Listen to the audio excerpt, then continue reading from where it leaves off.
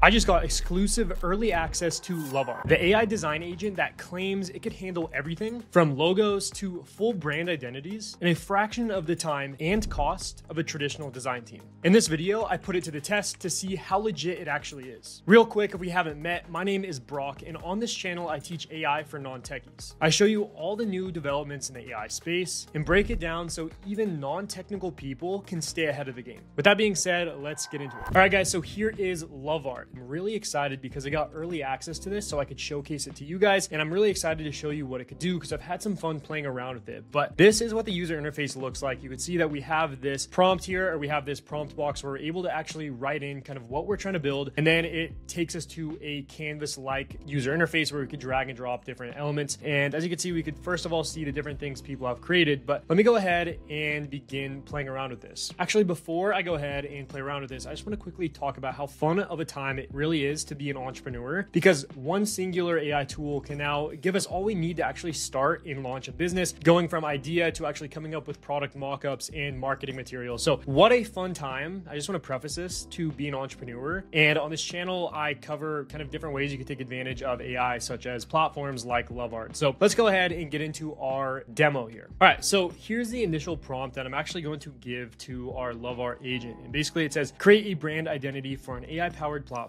that helps content creators brainstorm, organize, and launch their ideas, come up with a catchy name, design a logo, select a vibrant color palette, and show mockups for a website, mobile app, and branded merchandise like stickers and mugs. The style should feel energetic, modern, inspiring, perfect for creative minds. So this is the prompt we're going to give it. You can see obviously what we're aiming for here. We're trying to create an AI platform for content creators because that would be beneficial to me. And it's going to go ahead and craft everything from the logo to the name to kind of the different color palette we're going to use and even create mockups for different websites and mobile apps that we could use in order to get a sense of, you know, where do we want to go with our marketing and our, you know, brand identity for this company that we want to launch. All right, so one of my favorite things about Lovart that I've really been enjoying so far is the fact that it actually takes you through step by step while crafting our brand identities and our different assets here. So right now it's basically requesting, would you like to see inspiration images first or shall I create visual identity designs directly based on your requirements? So honestly, to reduce the chances of error happening, might as well just like see the inspiration images first. And then from there, I'll actually be prompted to be able to pick and choose which of these images do I like or which of them do I prefer in order to take that and run with that as opposed to just like going in blindly into all of this. And I mean, right here is pretty cool. You can see it's actually coming up with different things here. So for our inspiration, we have our modern AI platform branding, which, you know, these actually look pretty solid. It's nothing crazy, but you know, you could you could get a sense of what we're working with here. It even shows vibrant tech logo design. This looks really cool. And then it also talks about digital platform, you know, identities. So this is pretty cool. Let me go ahead and select kind of what I'm looking for here. I'm gonna click on, you know, this one. I like the way this this platform looks. That looks great. As for the logo, I like this first one as well. Cool. You know, that looks very tech-like, you know, something that we're definitely going for. And then for digital platform identity, let's look at this.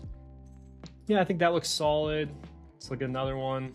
I mean, I guess that's just kind of a logo. So I'm gonna run with these first three. I think these look pretty solid. And then let's see, which of these inspiration images do you prefer? Basically, I already selected these. I don't need to select any of these. And I'm gonna say, let's run with these. I like these as a starting point. All right, and from there, Lovart's gonna begin doing the work and actually like compiling this together, I would assume. So let's see what it goes ahead and designs for us. And one thing I wanna mention while this is actually running is we have a couple things down here here, which are pretty awesome inside of Lovart and some of my favorite features. So we could actually click on internet search. So for example, if we want to say like, I want you to recreate, you know, the marketing style of this company, you know, that just launched or something, it has access to actually browse the internet in order to search for that, you know, those different assets there and different contexts. As well as that, we could actually come here and click on custom mode. So here are all of the different image gen and video models that our agent actually has access to. So for example, I really really like GPT image one, which is the 4.0 image generation. So if I only want to use this, I could go ahead and unselect all of the other ones and let it just use ChatGPT image one, which I might do depending on the initial output here. So let's just wait for a response. And then one other thing I want to mention is we could actually recreate a similar style. So let's say that we want to, you know, recreate something similar to like, let's see, maybe for our product marketing, we want to, you know, have this style here or, you know, any of these, honestly, we could go ahead and select that and it's going to craft all our images in that specific style, which makes it really easy if we're trying to like dial in, you know, the look and the feel we're going for, for whatever graphic we're designing, whether that's for, you know, crafting brand identity or if that's for creating product mockups or even doing something completely unrelated to, you know, building a brand. Maybe it's just like generating art and you want to, you know, maintain that same style. So that makes it really easy to do. Maybe we'll try that feature here in a little bit, but let's see. Now we have a request from Lovart. Which design direction do you prefer for the brand identity? So neon post-it playground. Let me read through these real quickly.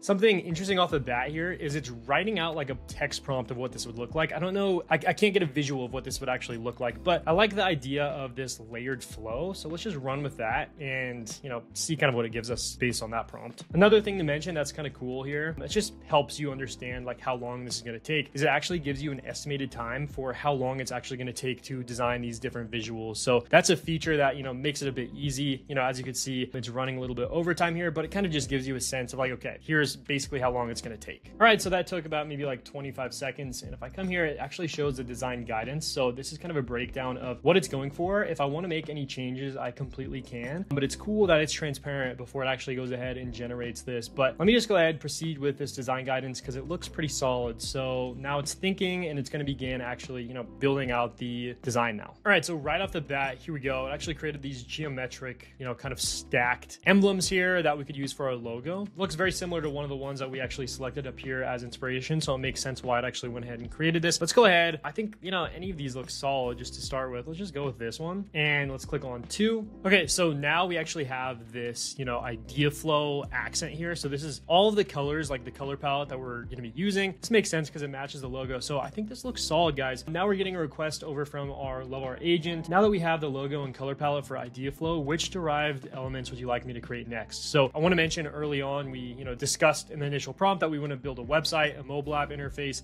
branded merchandise and whatnot. So let's go ahead, let's move forward with the website mockup. I'm interested to see, you know, how it'll handle this and actually generate kind of mockup of what our website could potentially look like using this brand identity that we're actually shaping and crafting right now. I'm actually gonna go ahead and pause this because in testing for this video, I had run into some issues using the Flux Kontext here. And instead, what I wanna do is actually want to use, you know, just GPT 4.0 image generation. So let me go ahead and click on this right here. I'm gonna deselect all of these besides the GPT image one, because I've noticed that that actually gives me the best um, outputs here. So let's select that one. And then let's just say, let's move forward with option one. All right, guys, so this is actually what we got originally. Oh, looks like we actually got our app Guys, this looks super, super solid. So notice how it's using obviously the logo that we created as our brand identity. It's using all the colors in our, you know, color palette here. This looks really solid for a landing page, you know, an initial landing page for our website. Of course, we'll need to make some changes, but one thing I could already like see myself doing is going over to something like Bolt and plugging this in and just saying, help me create a landing page that looks like this and downloading this image, going over to Bolt and then actually like dragging this this using that as inspiration. Curious to see what Bolt would actually come up with, but let's just play around with that and see, you know, if it's able to actually generate something good. But let's move over to our app. I mean, this looks really solid as well. It's nothing crazy, but it's just a basic breakdown of kind of what we could expect, you know, with our app. We could obviously make any changes we would like. And then also you can see our product mockups here with our different kind of logos and whatnot. I mean, it looks really, really solid. I think if you, you know, are somebody that has seen a lot of AI generated images, you might be able to tell it's generated by ChatGPT 4 image gen. But guys, this is really, really good and a really good starting point. All right, so this doesn't look exactly like what we actually created inside of Lovart, but this is an idea of how you could literally take, you know, a brand identity or a mockup that you create inside of Lovart and plug it directly into a platform like Bolt and actually make this functional. Crazy times we live in, guys. The fact that like being non-technical, not being a designer, you could actually build some amazing looking products and functional products as well. All right, so now I have an idea for us to actually generate our first piece of like potential content that we could actually post for marketing material. So what I did, I'm coming over to our agent. I'm basically saying this looks great. Now let's create an example of an image we can use for marketing. I want to create an image of an M4 MacBook Pro 16 inch with the website image that you created for me on the screen. So I want to use this on the screen and I want you to use this style and make it look very cinematic. So I could go ahead, I could actually search the style that I want to use for this product mockup here. So let me come over to photography and I honestly think it would be cool to do something like, let's see, I like this grainy film photography, but I also think this motion blur effect would actually look really cool or the hazy surreal photo. So let me click on this, this one right here, and then I'm gonna try to recreate this style. And then one thing I wanna mention, a quick little hack that I've been using is I've been using Dia Browser. It's a new browser that uses ChatGPT and embeds it onto any page you're using. So for example, now has context of this page I'm looking at. So let's just say, help me optimize this prompt. So I don't need to actually paste this prompt over to ChatGPT, and this will actually help me optimize this,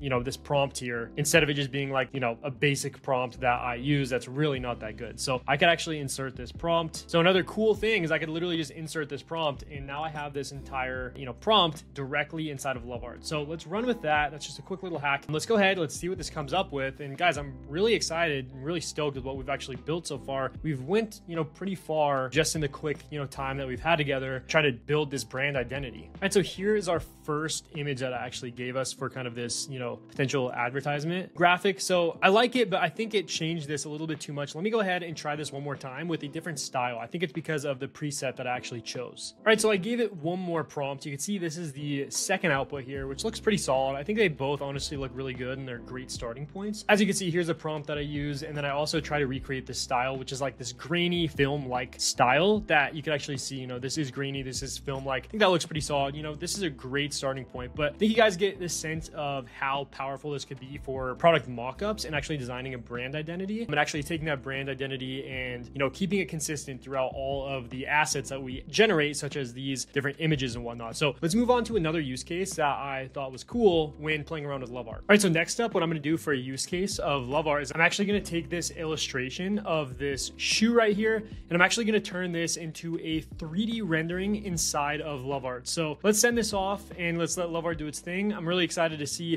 what we could do. Imagine actually taking this sketch, generating this 3D rendering, and then from there you could actually generate a video with Veo 3 to actually like visualize what the shoe will look like and even create like an advertisement for the shoe before we even have that actual shoe in hand. So pretty, pretty cool, but let's see, it says it's gonna take about 15 seconds. Really excited to test this feature out. Boom, and just like that, we have our 3D model generation here. And if I click on this, it's this interactive 3D rendering that we actually created based on our initial illustration. So let me pull up the illustration just to get a side-by-side -side view. I mean, here we go. Here is the initial illustration. And then we also have the 3D rendering here, which is absolutely amazing, guys. This is so cool. And then, like I said, we could actually go ahead and do certain things with this. Like we could create a Veo 3 video about it. We could create different ads based on the 3D model that we generated, all that different stuff. That's what makes Lovart so cool is the ability for us to like get really creative. It kind of separates it from just like other other AI or video generation platforms, it really does allow you to have freedom in order to create things that you wouldn't be able to if it weren't for AI, unless you were like an actual graphic designer. All right, guys, so here is our next use case for actually using Lovart. So I'm gonna use it to design a minimalistic Apple style toothbrush, and I then instructed it to create four images of this exact product for us to use. And then from there, we're actually gonna create a full entire website homepage for this toothbrush following the style of the Apple website. So basically, we're going from creating a product from scratch, turning that into a landing page for our website. And then also from there, what I'm gonna do after I finish this is I'm actually gonna generate a video advertisement with Google's Veo 3 that Lovart actually integrates with. And that way we have like, you know, we literally go from product to marketing material all inside of one workflow inside of Lovart. So let's give this over to Lovart. It's gonna begin crafting this up and I'll take you along throughout this process. This took a couple minutes, but look what it actually generated for us. It generated five different different images of a very minimalistic toothbrush in a set. Uh, you know, this looks exactly like kind of an Apple product marketing, which is what we are aiming for. So we have multiple different shots here in different settings. Looks like this one got cut off a little bit, but that's okay. And it went ahead and our main task here was to actually get it to generate an actual landing page. And as you can see, it created a landing page for Pura. Beautiful, simple, incredibly effective. I mean, this looks really good. This looks like a, you know, Apple styled website. And there we have it. That was all generated inside of Lovart in under just a couple of minutes. And we could go ahead if we wanted to and like actually change and make some edits to boom guys, just like that. Three minutes later, it actually goes ahead and creates this video for us. Let me actually take a look. Introducing Pura. Beautifully simple, incredibly effective. Precision engineered from premium materials so it's only an eight second clip, but that's because, you know, I didn't specify for it to be a longer clip, but that is Gemini Veo 3 inside of Lovart. We literally went from building the product right here, designing the product with 4.0 image generation inside of Lovart, took that, actually built a full landing page from it, and then I actually used the landing page as context. As you can see, it used the Pura name in the video, and I actually went ahead and built an advertisement based on all of this design that we actually created inside of Lovart. All right, so for this next use case, I'm gonna do something pretty fun and pretty cool, and I'm actually gonna go ahead and generate AI ASMR glass cutting videos like this one that you've probably seen. So if you don't live under a rock, you've probably seen these trending on TikTok or Instagram or YouTube Shorts or whatever. And I'm gonna go ahead inside of Lovart and I'm actually gonna add a different spin on this. I'm gonna generate a logo from scratch for like a brand. And then what I'm gonna do is I'm gonna turn that into a glass cutting ASMR AI generated video using the Veo 3 video model that's inside of Lovart. Let's go ahead and come over here to our agent and I'm basically just gonna say create a logo that says AI ASMR and make them bold, bubbly letters in a cool purple gradient. I'm gonna ship that off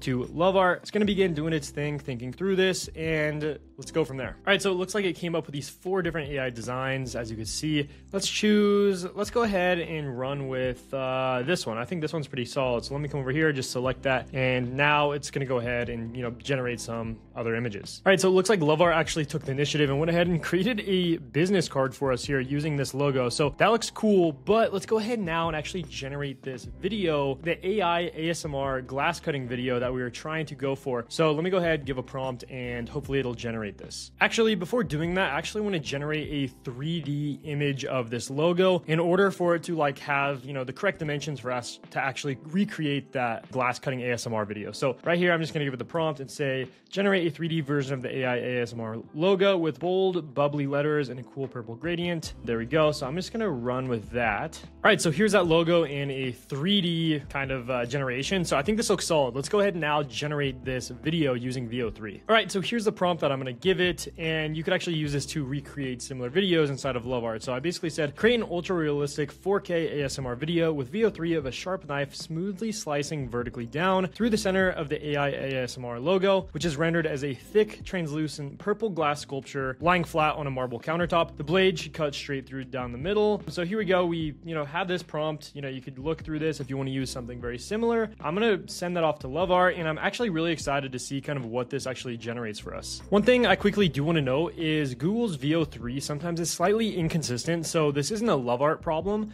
This is, you know, it has to do with Google's actual, you know, video generator. So I'm excited to see what it gives us, but we might have to do some back and forth in order for us to get the exact output that we're looking for. But that's great because it showcases the power of Lovart and how we could actually, you know, interact with this agent to, you know, kind of craft what we want at the end of the day instead of it just like generating it all for us. So it might give us the perfect output like after the first try, but I guess we'll have to wait and see. All right, so we got output number one, and this isn't exactly what we want, so we're gonna have to make some changes, but let's take a look because it's, you know, pretty cool. It's a great starting point, let's just say that.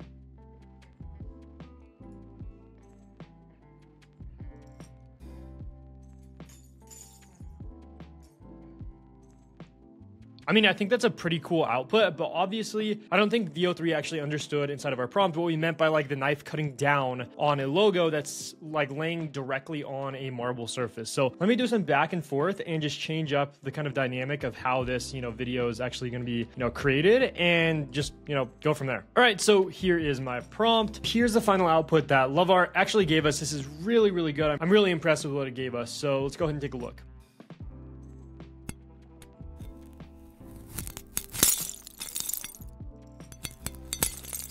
So as you can see, we went from generating the logo inside of Lovart to actually taking that exact same logo and generating a video with Veo 3 inside of this platform. All right, guys, I was lucky enough to get early access to Lovart so I could showcase it to you guys on this video. Check out lovart.ai where you can explore Lovart and start vibe designing right now. With that being said, guys, I hope you got some value from this video and I'm looking forward to seeing you in the next one. Cheers.